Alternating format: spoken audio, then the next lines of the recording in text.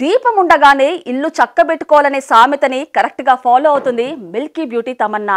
ప్రస్తుతం ఉన్న పరిస్థితులను దృష్టిలో పెట్టుకొని తన రెమ్యునరేషన్ విషయంలో మాత్రం తగ్గేదే లేదంటుంది. తమన్నా డిమాండ్ చూసి నిర్మాతలు కూడా షాక్ అవుతున్నారు. ఇంతకీ తమన్నా ఒక్కో సినిమాకి తన రెమ్యునరేషన్ ఎంత కావాలంటుందో చూద్దాం. మిల్కీ బ్యూటీ తమన్నా ఇండస్ట్రీలోకి హీరోయిన్గా ఎంట్రీ ఇచ్చి చాలా కాలమే అవుతోంది. అయినా ఇప్పటికీ ఇంకా అమ్మడు స్టార్ హీరోయిన్ గానే చక్రం తిప్పుతోంది. అయితే ముందులాగా ఎక్కువ సినిమాలు చేయడం లేదు. కానీ ప్రస్తుతం చేస్తున్న సినిమాలన్నీ క్రేజీ కాంబినేషన్స్ లోనివే ప్రస్తుతం ఈ బ్యూటీ తమిళ తెలుగు హిందీలో వరుసగా సినిమాలు చేస్తోంది. ఇటీవలే డిజిటల్ ఎంట్రీ కూడా ఇచ్చిన తమన్నా ప్రస్తుతం వెంకటేష్తో కలిసి ఎఫ్ త్రీ మూవీలో నటిస్తోంది. దీంతో పాటు మెగాస్టార్ చిరంజీవితో కలిసి బోలా శంకర్లో ఛాన్స్ అందుకుంది. సినిమా ప్రస్తుతం సెట్స్ పై ఉంది. ఇంకా సత్యదేవ్తో కలిసి వస్తుందా శీతాకాలం అంటూ రొమాంటిక్ లవ్ స్టోరీలో హీరోయిన్గా నటిస్తోంది. ఇవి కాకుండా బాలీవుడ్లో బబ్లీ బౌన్సర్ అనే పాన్ ఇండియా మూవీలోనూ నటిస్తోంది.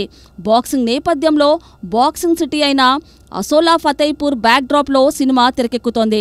ఇందులో తమన్నా లేడీ బౌన్సర్గా నటిస్తోంది. ఇండియాలో ఓ మహిళా బౌన్సర్ కథ ఆధారంగా రూపొందుతున్న బబ్లీ బౌన్సర్ మూవీ ఇటీవలే పూజా కార్యక్రమాలు జరుపుకుంది. త్వరలోనే రెగ్యులర్ షూటింగ్కు వెళ్ళబోతోంది అయితే ఈ పాన్ ఇండియా మూవీ కోసం తమన్నా భారీగానే తన రెమ్యునరేషన్ ఓ రేంజ్లో పెంచేసిందని తెలుస్తోంది.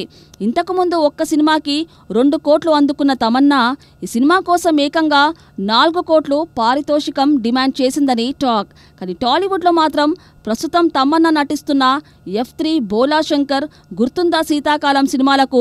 తన పాత పారితోషికానే కంటిన్యూ చేస్తోంది. అయితే నెక్స్ట్ కమిట్ అయ్యే సినిమాలకు మాత్రం ఖచ్చితంగా నాలుగు కోట్లు తీసుకుంటానని చెబుతుందట. ఇంత పెద్ద అమౌంట్ టాలీవుడ్ నిర్మాతలు తమన్నాకు ఇవ్వడం కష్టమంటున్నారు. ఇలా అయితే వచ్చే అవకాశాలు రాకుండా పోతాయి. మరి మనసు మార్చుకొని పాత రెమ్యునరేషన్ తీసుకుంటుందా లేదా? ఖచ్చితంగా తను అడిగిన రెమ్యునరేషన్ ఇవ్వాలంటుందో చూడాలి.